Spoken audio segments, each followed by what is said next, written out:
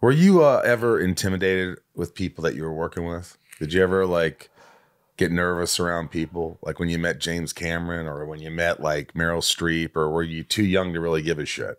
Obviously, Terminator because I had never done anything like that, and Arnold was huge at that point. Was he So, nice? Jim Arnold's the best, dude. Arnold's the best. I I um and Jim Cameron. Like they're I you know, I had the greatest experience on that movie. Um you know, I mean it's like Arnold has to be pretty amazing just by the fact of like what he's done. hmm You know, he's he's really smart, he's hilarious, you know, um he's a professional. I mean, I learned a lot. And uh I mean, we shot that movie for like nine months, so it's kind of like all that sort of starstruckness almost Went sort of away, right? went away after like a couple weeks. Yeah.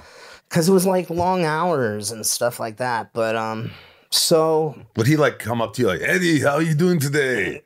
All this shit. Was he cool? Well, it's just oh, he was great. He was great. Yeah, I mean, we spent you know so much time just sitting on that bike together. You know, so we we you know like I, I was so sad when that movie stopped filming. I mean, we shot it for like nine months, and you know, Linda and Jim and Arnold, like you know, Family. it was like family. It was like family. And when you're 13 and you've never experienced what it's like to do that, Or to have a family. or to have family.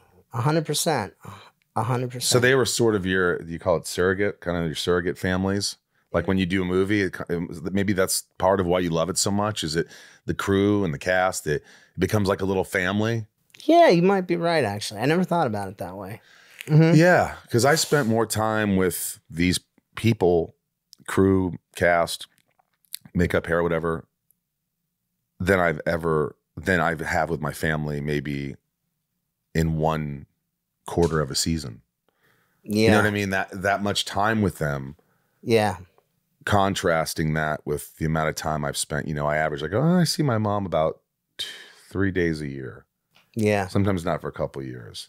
yeah. So let me see. I've seen my mom 30 days in, you know, count them how many years. So, but then you're on a set and you're working 14, 15 hours every day with these same people. Yeah, and you usually hang out afterwards. Yeah, you hang out know, afterwards. It's yeah, it, it's. uh I love that part. Yeah, it's Yeah. like it's like going to like summer camp or something.